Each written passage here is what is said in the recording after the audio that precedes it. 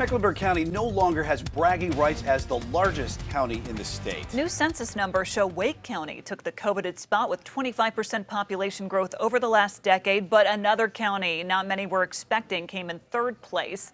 Fox 46 chief political correspondent Emma Withrow joins us with details on a huge spike of growth in Cabarrus County. Yeah, Emma, you went down to Concord today, a downtown area. Is growth obvious there? It really is, Brian. There was a ton of construction in downtown Concord, and the business owners I spoke with were a mix of people who've either owned their shop there for 37 years or opened it up in the last six months. One bookstore owner said he decided to open up his bookshop there within the last six months, strictly because of the massive amount of growth that, the, that Cabarrus County has seen. David Kern worked in publishing before deciding to open up his own bookstore in downtown Concord. Just since we opened the store, we've seen three or four different condo units start to be built and deconstruction that's going to lead to construction and new businesses coming in. He's not afraid of competing with giants like Amazon because his shop gives folks more than just a book with two day shipping. Here in the store, I see a lot of people from who come talk to me from not just different walks of life but different religions. And in a bookstore it's kind of like being a bartender.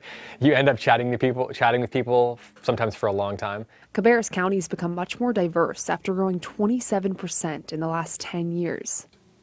The future growth that we're anticipating made it I feel like it was okay to take that calculated risk.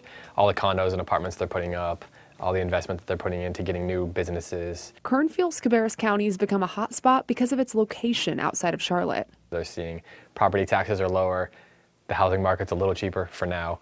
Um, and I do think that Concord itself and, and the county has kind of a, even as it's growing, kind of a small town feel. And Kern says since he opened his bookstore, business has been booming. It's located right next door to a little coffee shop down there in downtown Concord, so it's a great spot for foot traffic as people are walking down and shopping. If I had more time, I probably would have grabbed a cup of coffee and read a book there, but we had to have a show tonight. Guys? Certainly a growing community, Emma. And to break down this data even further, 900,000 people moved to the Tar Heel State over the last 10 years. Out of the state's 100 counties, over half had more residents leave than move with Anson County, which is southeast of Charlotte, actually losing 18% of its population. Experts believe some of those people moved to the metro areas of Charlotte or Raleigh, together making up 39% of the whole state's population. Yeah.